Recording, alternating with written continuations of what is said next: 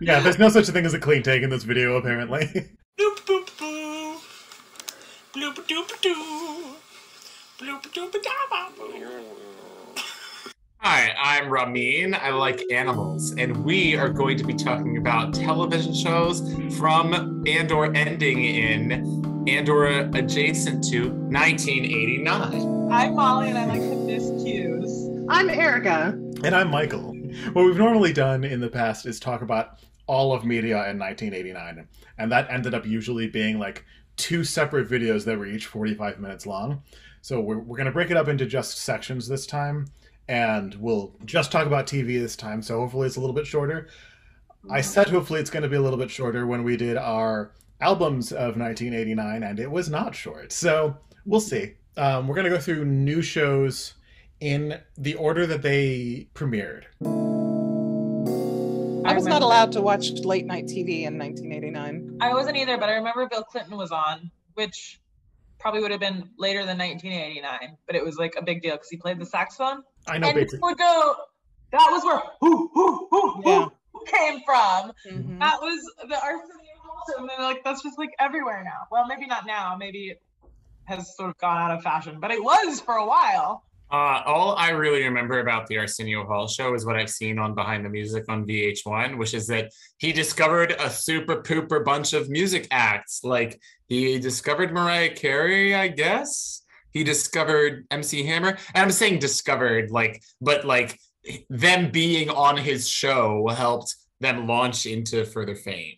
A lot of comedians got their start on his show too. He was at an archaeological dig and he heard some whistle tones, and there he discovered Mariah Carey. He just dug her up. He cracked open her tomb and then she was free.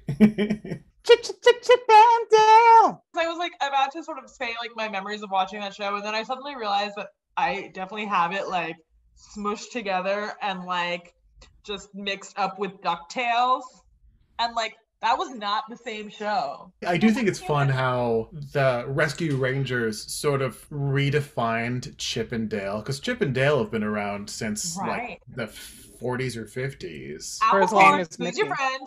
They used to be strippers. Weren't they more or less the same character? They were just like two mischievous little chipmunks. Yeah, Uh, they they, were didn't have- basically yeah, and and they would harass Donald Duck. Yeah, and they did, they didn't really have the full fleshed out personalities until Rescue Rangers, I believe. Yeah, one of them. There were some of the old cartoons where the one was like it was a little bit of a pinky in the brain th- kind of thing going on, where one was a little bit smarter and the other one kind of went along with the road.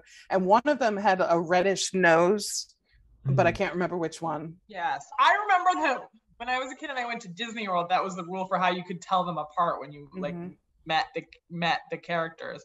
Was that one had a red nose? hmm Well, anyway, Chip and Dale Rescue Rangers was fun. I don't. I, re- I remember really liking it, but I don't remember anything about it. One of them was wearing basically an Indiana Jones outfit, and one of them was wearing a Hawaiian shirt.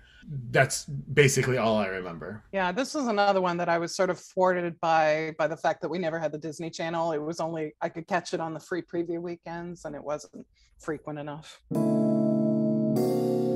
I remember watching that show, but I couldn't tell you like anything. I think it was just one of those things where like this is the only thing that's on.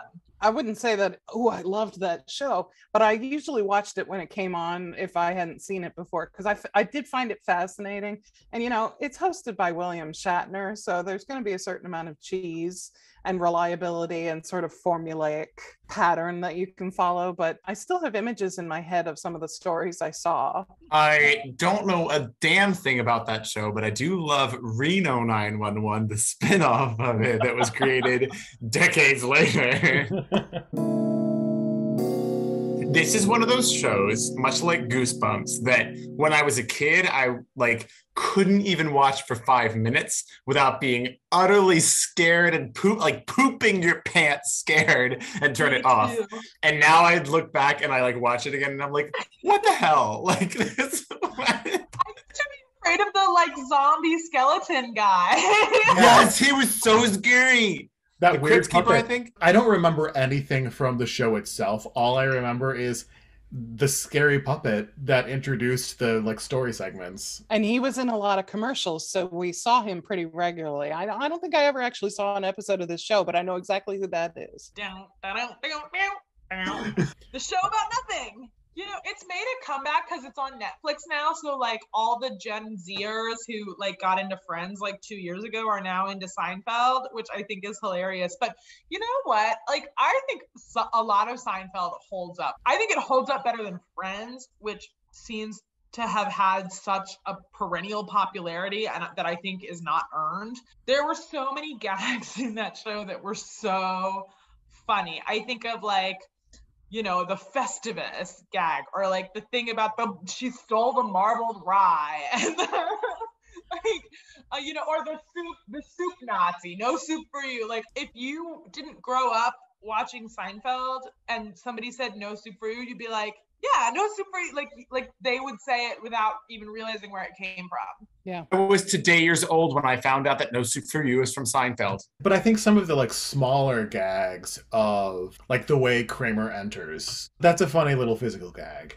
And well, and also all of his like schemes and stuff Yeah. were so funny. That show is very much all about the cast who was not Jerry. Jerry was the least interesting person on that show. Well, he was the straight man, which is funny that he was the straight man because he's literally like the stand-up comic in the show. But like Jason Alexander is such a theater, like a lovable theater nerd, and Julia Louis-Dreyfus is just actually fantastic in everything she does. I can watch Seinfeld and enjoy it just because the part of me that is a theater kid loves the craft of it and like like can really admire the effort that these actors are putting into making this sometimes middling material really work. Part of what made it appealing was just how absurdist it was and also how kind of like nihilist it was. It was really um very Gen X. But that's kind of to me the part that I like about it is the ability to make like any line or moment work. That's what I mean when I say craft. Like the the comedy of that show is not necessarily like I Love Lucy, where the situation is also humorous, like the, the chocolate conveyor belt, right? The situation is not the comedy part. The situa- the the execution is the comedy and like the way that they that they inflect the line and, and gesture and stuff that's what's cool to me Yeah, it wouldn't have worked with any other cast, and it wouldn't have worked if the cast didn't have the same chemistry that they had. yeah. yeah It's a little wild and a little strange. Let me just impress upon you the importance of this show in my childhood. I truly, truly think this was my favorite childhood show. And I cannot even tell you why, except for the great character development and the fun stories and the fact that it came on in 1989 and was on in syndication like literally forever. And also the hot Native American cowboy. Yes, Danny was cute. Ted had his moments, and you know the the the woman I forget her name now. The woman who played Melody was like actually a good actress, and she went on and did a lot of the, of other things. And I am telling you, look, the set that they used in Tucson, Arizona, is still there. It's an abandoned hole with the buildings falling apart. There's a But lot I'm of that in Tucson, Arizona. That's true. if i had a nickel Mhm. But I'm I'm going out there one day. It's on my bucket list. I loved that show too. I actually didn't remember this show until i just googled the picture and saw the hot native american cowboy and now i remember it. So this is a show that definitely was big in my childhood but looking back on it now i ha- it, it was pretty problematic. I don't mean like in the way that our, our current social justice warrior oriented minds might think although that's true too but more like the way it normalizes high school bullying and it normalizes like who should be cool and who shouldn't be cool. They like were friends with Screech. were they friends with screech though? Were they really friends with screech? Well, Zach was friends with Screech. no. Were they friends with screech Yeah. or did they hang out with Screech so they could feel better about themselves and call themselves friends with Screech? Oh, truth telling. I mean, it's true that like Screech was not treated the way that anyone else on that show was treated. That's true. And that's what I'm guy. saying. And it was so normalized that even today we say things like, oh, we were friends. They were friends with Screech. They weren't friends with Screech. And you think I'm kidding, but I'm kind of not. Like, I, I don't know. I'm sorry. I'm getting dramatic. In fairness, Screech was sexually harassing Lisa Turtle. I mean, yeah, that's true too. Yes, and and again, that's not the only thing that was problematic with this show. Like, we could sit here and talk about the fact that where were the black people, right? Like, Lisa Turtle. okay, cool. So there was one, but that's what I'm saying. Is it's this like weird gray area where, like, because there is a nerd, because there is a black person, oh, we're cool with them, even though like they're very clearly treated differently. I thought that Saved by the Bell kind of did maybe a touch better than some other shows of its time. And that Oh, was no. because its audience was younger. Its audience was people like us, and they I- wanted us to see that. Saved by the Bell did try a lot of things, and they didn't always completely nail the landing. The caffeine pills thing, it's it's so so quotable, like the most quotable thing on TV from the late '80s and, and early '90s. That was literally one of the first times it was ever talked about on television. They were trying to open up that conversation, and it was trying to show that she can reach out to her friends, and her friends are going to look out for her. So there was like, yeah, there are things that were mishandled, but there were also things that were like, this was the first time it was done, and it was necessary. It was a necessary first step, even if they tripped a little. You know what I mean? The first time it was done that we know of, and that was geared toward people our age. a lot of the times you hear today in these sorts of i don't like to use this term in this sort of context but woke conversations that you hear people say well what you intended doesn't matter. It's your words that mattered. And i think that's sometimes a little misguided. I think that intent should be taken into account because if you don't consider someone's intent first you really run the risk of closing off an opportunity for dialogue. Erica, you're making a good point that um, the intent behind these episodes was pure. I think that the execution was lacking, but I think how we respond to that intent is really critical. I think we can yes and the situation, you know, yes, your intent is pure and you kind of fucked this part up right here. But if we don't start from that well intentioned place, then we just start to really shut down dialogue and it becomes this thing that I really hate about social media right now, where it's this competition of performing wokeness. Eureka! Eureeka's Castle. Uh, six year old me was obsessed. You know, it's so interesting because, like, I feel like I remember when Eureeka's Castle was like introduced as a new show, and I don't remember ever being the age to be the target audience for Eureeka's Castle. And yet, in 1989, I was four years old, which means I was extremely the target audience for Eureeka's Castle. So maybe I just like always was extra mature. Eureeka's Castle was very much an off brand version of a lot of shows that did it better. Like, it was no Gullah Gullah Island. Eureeka was good, not great. The puppet work on Eureeka's Castle was really great. All I remember was a dragon. Wasn't there a dragon? There was a dragon. His there name was was a Maj- castle. His name was Magellan. Aw, that's a nice name for a dragon. Yeah, I'm not sure why I just specified that there's a castle, but it's literally in the title. I thought Eureeka's Castle was wonderful because in 1989 I turned seven years old, so I was definitely its target demographic. I just thought it was very colorful and imaginative. It had again really great characters, like the guy Batly, who was like the resident Transylvanian vampire type, who was just a big bumbling fool, was like adorable. Magellan was wonderful. I really liked all those characters, and that's that's sort of been my common theme for all my favorite childhood shows. It's just really good character work. I remember this. I remember this being extremely disappointing. and super weird. yeah, I knew it existed, but I ne- I don't think I ever saw any of it. I've seen more clips making fun of it than I have any actual airing of it.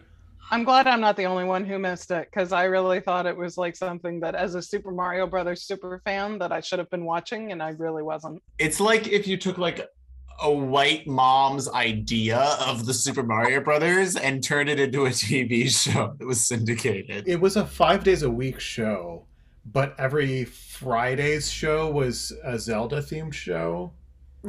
Yeah.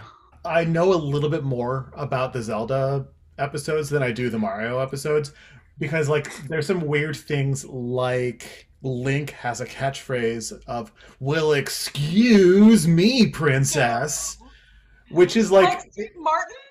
it, it makes absolutely no sense for the character because really if it were like true to character link would say ha ha I wanted to be on it really badly. I wanted to be on it too. And like we all had our ideas of like how we would handle all the different Mhm. obstacles, right? yeah. I mostly only remember the gladiators themselves and the obstacles. Am I mixing? Okay, so there were actually there were gladiators, and then there were like normal people. Yes. Yeah. Okay, that's what it is. I feel like that show has a legacy that has continued with shows like American Ninja Warrior Which and is superior. oh, totally, totally. But like American Gladiators had that 1989 glam to it, you know. Television is weird, It's, basically. you know, it's sort of the basest form of entertainment, like stupid human tricks, tricks, Yeah. kind of. oh, but there's something even more specifically that's really base humor coming up in a little bit. I watched this show a lot because when I was a kid, I loved Beetlejuice. Well, I remember watching Beetlejuice and being kind of afraid of it. hmm But the Beetlejuice TV show, that I could get down with. Because it was animated, right?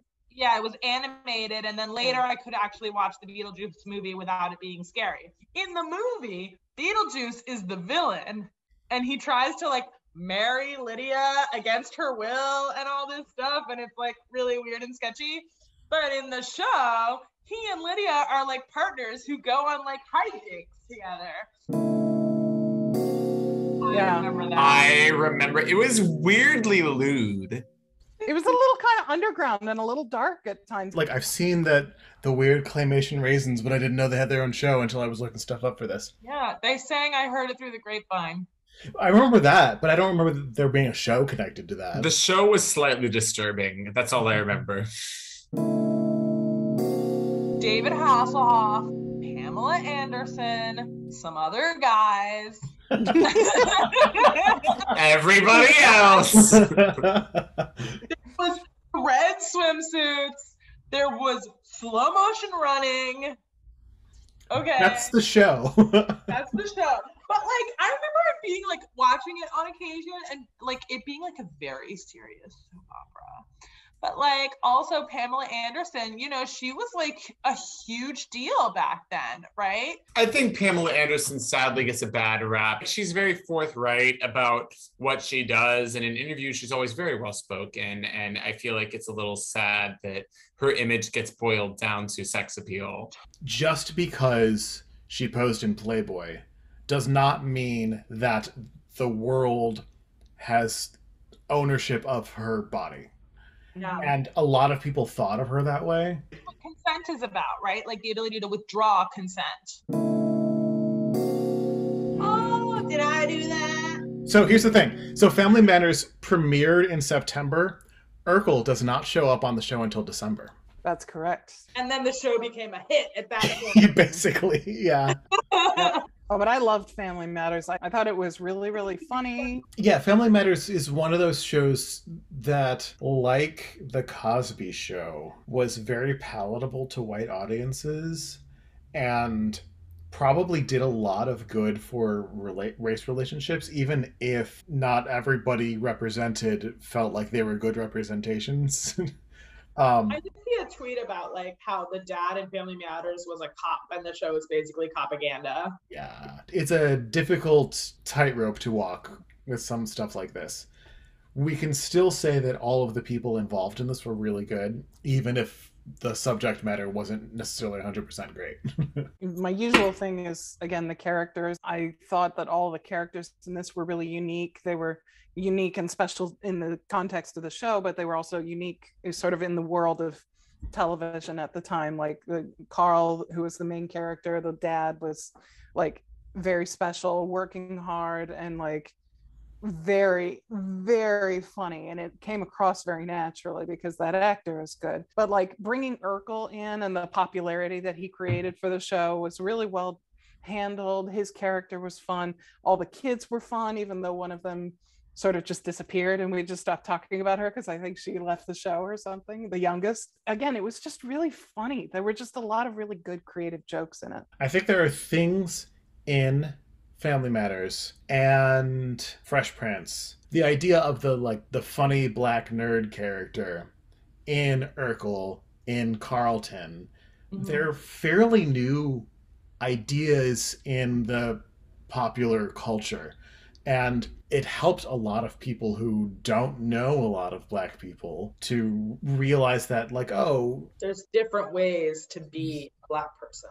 Yeah, I think that these shows like are important because I think you need both. I think you need representation, rep, representation, representation of um, both the thing that people think they already know to show them that it's more than they know and the thing they don't know characters like steve urkel which when we look back now are a total caricature but at the time like like some people were saying was so important because until then all you had were these these caricatures of black people created in like hip hop music that was designed to be sold to white people. These caricatures created by white people of like the thug black guy for example or like the um you know what i'm saying. I don't need to continue with detail. I think it's really important to point out, though, that when we're talking about representation in this context, we're talking about representation to a mainstream white, straight, middle class audience. So if you're already in a community of Black people, it's represented all around you, right? This diversity, or maybe it isn't. I don't Not- not I, on I am not- in a mainstream white middle class Yeah, uh, society myself, but, but not not necessarily on television and movies. That is still very new. right. So like, so, but I think to that end, if you are in one of those communities, the kind of representation that maybe you're looking for in media is maybe even more diverse than what we're talking about with regards to Urkel and Carlton. It's like I want to see even more variations in the spectrum. Whereas to a mainstream audience, like, hey, you can be black and play the accordion. Whoa! I think I think these were steps going that direction. That's why I think they were important. Again, like you, Molly, as as white sort of lower middle class, maybe it's not our it's not our our fight. It's special for us to talk about it and to be able to talk about it because we grew up with all of these shows. Like it's an Yeah. important conversation to have. yeah. The or point even that I, it is our fight because we have to fight for people that have less power. yeah so so that's that's that's the point that i was going to make like like sort of to what both of you just said we are not the experts in this mm-hmm. as three white people and mm-hmm. one very white passing person to solve these issues. White people need to be doing the work but following the lead of the people that are affected by these issues. America this is you Beating up on each other and taking videos of it while it's happening. And taking footballs to the nuts. America's Funniest Home Videos is occasionally like legitimately really funny, but it's sort of like is it jackass humor or is it like funny situa- situational things that you just happen to catch? Like to me it's never really that funny if somebody's trying to do a cool bicycle trick and like falls and hits their nuts. Like that's not funny to me. it's not to say that everything on the show was terrible because there's also like look at this stupid thing my dog did and like yeah you know that like that can be legitimately really funny my barometer was always the way my mom reacted to that show because my parents watched this show religiously and my mom if it was like a slapstick thing would be like oh that's not nice and if it was like not someone getting hurt she would actually laugh and that is kind of my own moral compass it's true though some of those things were not funny like like little child falling off the swing and then maybe having a concussion Yeah. i don't know you know And some of them were like very obviously staged and just Yes. mean and yeah. ugh. Though this did exist for a year already uh, as part of the Ullman tra- as part of the Tracey Ullman show in 1989 the Simpsons became their own show When it was weekly, it was on every week. Like I believe it was Tuesday night at eight. We were there. We were ready to watch The Simpsons as a whole family. Halloween could not miss. Yeah. Mhm. Like, Treehouse of Horror. Always, always watch The Simpsons on Halloween with our like candy that we had just gotten back and we're like sorting through. And The Simpsons, like our discussion about Seinfeld earlier, so many things in popular culture that I think people don't realize are from The Simpsons are from The Simpsons. I my parent that's so funny because my parents were the polar opposite. They were like, this is inappropriate. And like constantly like, ew, my mom, that's so gross. Why do you like that? The Simpsons. But I loved The Simpsons. It was seen as this like controversial, like gross, like inappropriate thing because like I don't remember it being gross. I mean, it was maybe base humor, but it wasn't like There were worse things on television. Yeah. Mainstream television. Yeah, like I, I think some of the worst stuff that was on the show was like a Homer choking Bart, which happens in like almost every episode, especially in the early seasons. And it's like, yeah, like we don't want an actual father to be doing that to the actual to their actual son, but But I feel like that's not what people were mad about. I feel like they were mad about like Bart being like a whippersnapper and like swearing. He didn't really, No. right? Like he was a brat. He was Dennis the Menace, basically. yeah. They were just different. They were anti the clean cut family image, and it was also animated, which was was not still very atypical to see that on on prime time. So people were just like, "What the heck is going on?" And why are these kids talking back to the adults? Like it was, it was an old fashioned thing to think that The Simpsons was gross. And I think that was part of the controversy was that because it was an animated show, people associated animated shows with shows for children. Yes. And so it was not a show for children. Although in 1989 and 1990 and 1991, I was four, five, and six years old, and I was 100% watching The Simpsons with my family. Yeah. But like, there was never any indication of like, Molly, this is not appropriate for you. Even though I knew that I had friends that weren't allowed to watch it. The show is still on, still making new material. Still on. It hasn't been funny in years. It's Not I occasionally know because I don't watch it. right. It's occasionally a little bit funny. I won't say it's bad. I will say that I don't think it's funny anymore. the But I mean, it was is a cultural icon, you know. Yeah. Like, we can't deny that. Ladies and gentlemen, welcome back to the Ramichael Trivia Show. America's Funniest Home Videos. That was number five. What? Number five? I guess like- I it was a- underestimate America's love for people taking balls to the balls. And it was like that the whole time it was on. It was always like really highly rated. Uh, I'm gonna go with the Cosby Show for 500, Alex. that was once again number one. And I'm gonna go with designing women. Designing women is not on the list. Molly has her first error. Ooh. What a blunder! 60 minutes. 60 Minutes was number seven. So I feel that America is both horny and sexist. So I'm gonna say Baywatch. Baywatch was not. Well, look at you, America, proving me wrong. You know what? I forgot my favorite answer, which is the Cosby Show spin-off, A Different World. That was number four, How did I overlook that? which gets Molly seven points. Always my go-to answer if I don't get to be the number one and say the Cosby Show. Coach? Coach was not one of these.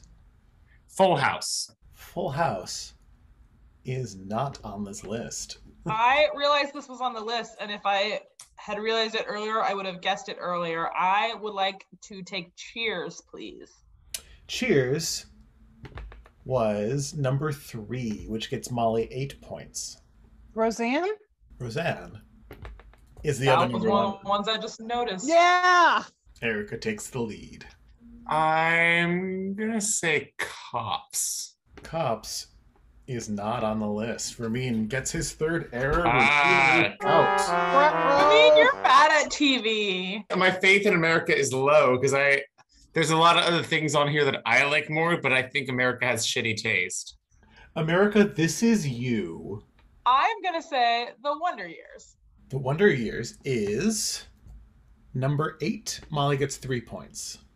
Unsolved Mysteries. Unsolved Mysteries is not on the list. Erica has her second error. I think it's Family Matters. Family Matters is not on the list. Molly ah. has her second error. Damn, I kind of want to watch our last video again. Arsenio Hall. No, Erica is out.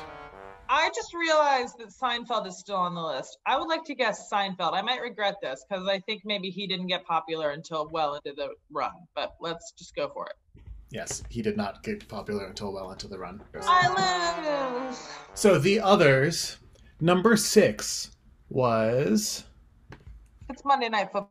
I'm going to just die. Me too. come on, the Golden Girls. Um, Oh, I almost guessed the Golden Girls. Number nine, Empty Nest, which is that one that Erica is the only one who knows existed. And I'm sorry, Molly, It's Monday Night Football. that was number 10. It would have gotten you one point. Since we are separating these episodes into different categories, we are not going to carry these over, these points over. So that means Erica wins this round. woohoo!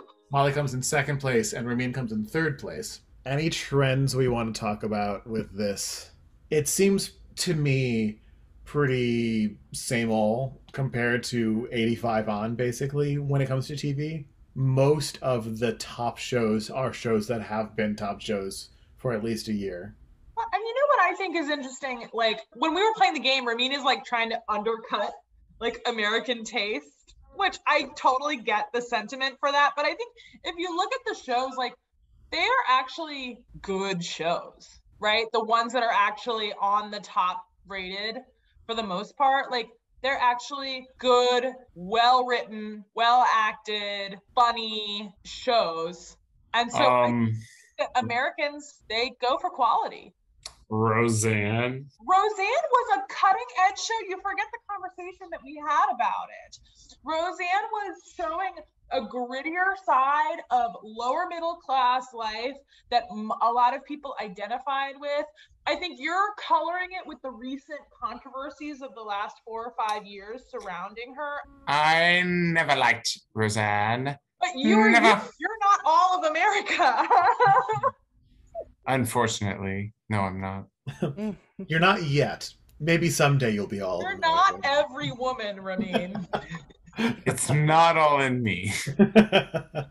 if we look at the top, at least the co number ones, they are showing a part of America that is not on TV prior to this, that at least not that much. When we get down to like shows that are actually pretty progressive, like The Golden Girls is actually quite progressive, it's surprising that in 1989 it still had this kind of staying power. To, at least surprising to me, who was cynical about everything. A Different World was also a very progressive show. And 60 Minutes was just really good investigative journalism. The outlier on this list to me is America's Funniest Home Videos, which was dudes getting whacked in the nuts. And Mon- Monday night for entertainment. and Monday Night Football, which was also dudes getting whacked in the nuts. It's sports. you know, people like sports. That's that's fine. That's people getting hit in the head, Erica, and having concussions and, and permanent brain damage. And also, none of us really know what empty nest is. Erica's the only one who's ever seen it. No idea. I mean, Cheers was ubiquitous. yeah. The Cosby Show was everywhere. Everybody did a great job. You're all pretty, but especially me. And uh, good job, the 80s. You did it again. Thank you so much for watching this video. Uh, please let us know if we missed anything that you really liked. If there are any points that you feel should be made that we didn't make, please give us a like, a follow, tell your Sunday school teacher about us, um, have them pray for us. We need it. Go do something good. I like that. Go do something good. Maintain your groovy selves.